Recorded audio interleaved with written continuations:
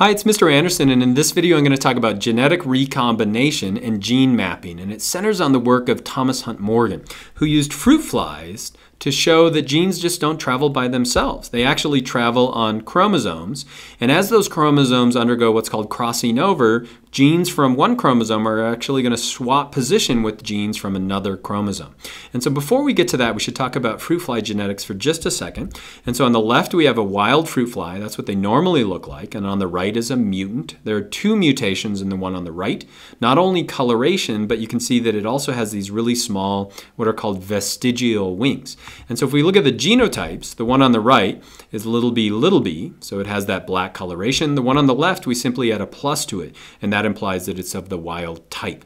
We could also look at uh, vestigial wings. Maybe the genotype of the one on the left has one of the wild type normal wings, but it has one of the vestigial genes. It still has normal wings on the left. And that's because the wild type is going to be dominant in this case.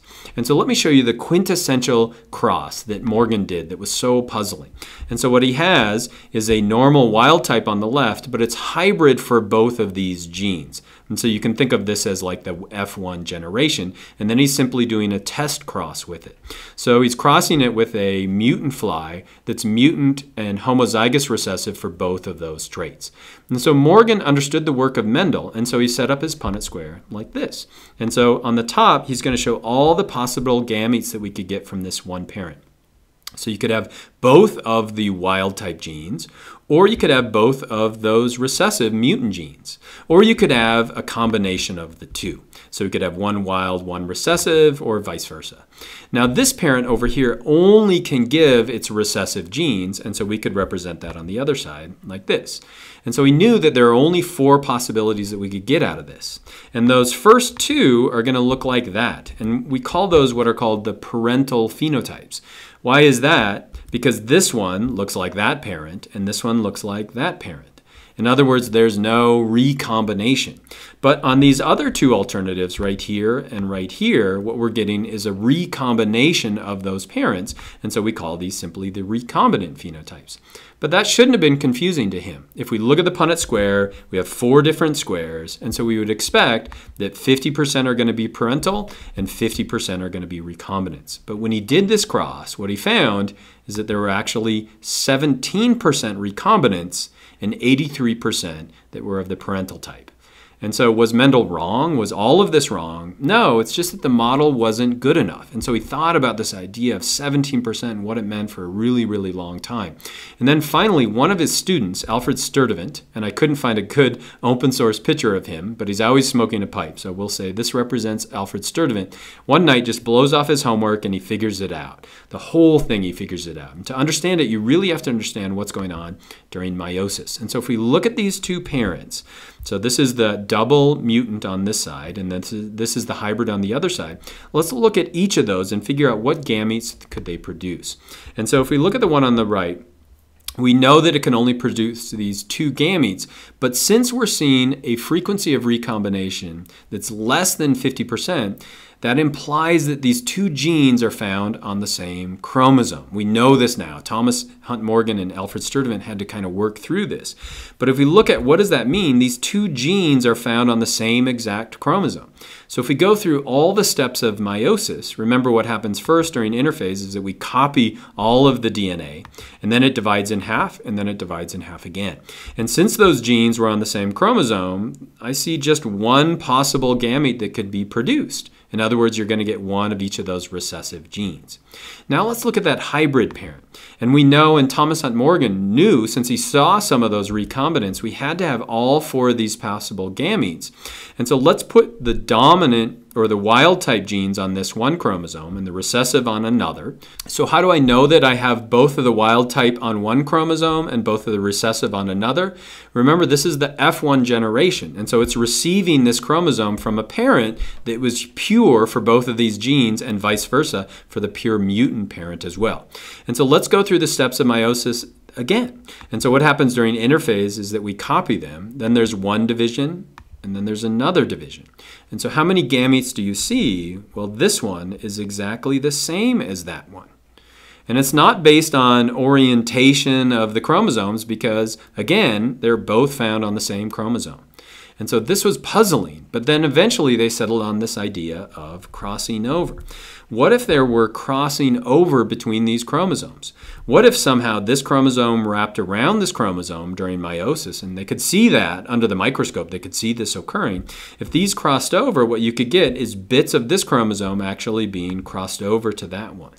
And so what we could now produce is a chromosome that has the wild type for coloration, but it has the recessive uh, gene for this vestigial wing, and vice versa over here. And so Sturtevant, it's brilliant coming to this kind of idea that if that crossing over event occurs between the different genes, then we would have recombination, genetic recombination. But if it doesn't occur during that, in that part of the chromosome, there's going to be no recombination. And so where does that 17% come from? Well, this is roughly 17% of that area of the chromosome. That's where it's coming from. If those genes were closer together, that frequency recombination would be closer. If they were really far apart, it's more likely that it's going to split in the middle. And so we can use this one cross to figure out the frequency of recombination, and then they were able to use that to build a gene map. And so if you look at a chromosome, if we look at that frequency of recombination, let's say it's 17%, that implies that it's an arbitrary distance of 17 map units apart on the chromosome. Let's say the frequency of recombination is less than that. That means the genes are closer together. What if the frequency of recombination is greater than that? It means that it's farther apart.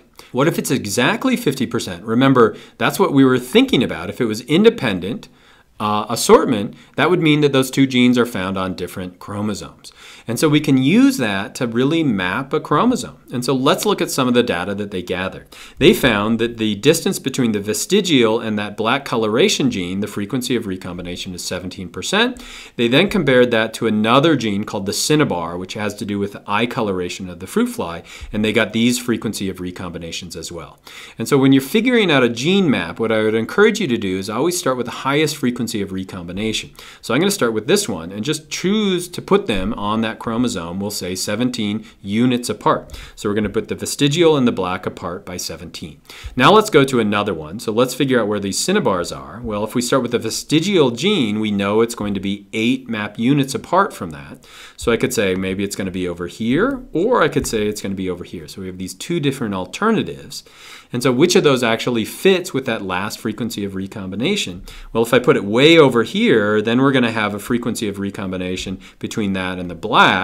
We know it to be 9%, but it's going to be a way larger number than 9%. And so I can narrow it down to this is where our gene map fits. Now let me give you a problem of your own. So now I've given you these four genes and their frequency of recombination. I would encourage you to pause the video here and then you try to map out where each of those genes are found on the chromosome. I'll pause, and then let me show you what the right answer is. And so what I would do is, again, start with the largest frequency of recombination. I'm going to put B and C really far apart. So I'll put B on one side, C on the other. What's the total distance of the chromosome? Remember, it's going to be 50 map units.